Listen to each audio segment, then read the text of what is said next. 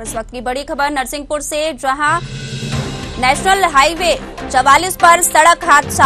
आपको बता दें कि स्कूल बस की चपेट में आए बाइक सवार, बाइक पर सवार तीन लोगों में से दो की हुई मौत। एक गंभीर रूप से घायल जिला चिकित्सालय रिफर टोल नाका महमदपुर के पास हुआ ये हादसा। तो खबर, जहाँ नेशनल हाईवे चवालीस पर सड़क हादसा, स्कूल बस की चपेट में आए बाइक सवार बाइक सवार तीन लोगों में से दो लोगों की मौत हो गई है। एक गंभीर रूप से घायल है। जिला चिकित्सालय घायल, गंभीर घायल को जिला चिकित्सालय में रिफर किया गया है। टोल नाका महमदपुर के पास की ये घटना बताई जा रही है, जिसके चलते यहाँ पर मौके पर स्थानीय लोगों ने पहुंचकर पुलिस को इस मामले की सूचना दी।